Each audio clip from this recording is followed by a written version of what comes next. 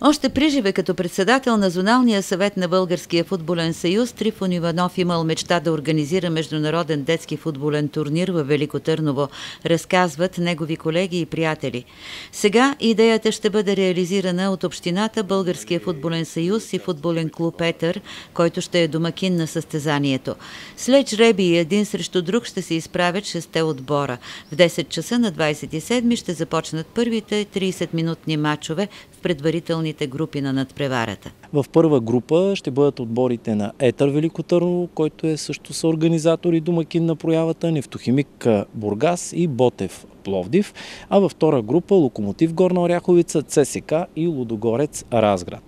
Управителят на предприятието Спортни имоти твърди, че теренът ще бъде подготвен като за мач от професионална лига и децата ще имат всички условия да покажат какво могат. В четвъртък от сутринта започват двубойте за разпределяне на местата от първо до шесто, като схемата е ясна. Третите в предварителните групи играят за пето-шесто място, вторите за трето-четвърто и победителите за първо-второ място. Около 12.30 часа трябва да започне церемонията по награждаването. Ще купи, ще има медали. Освен медали и купи, за шампионите ще бъде присъдена и една специална награда за най-добър халфбек в памет на големия защитник от Пеневата чета.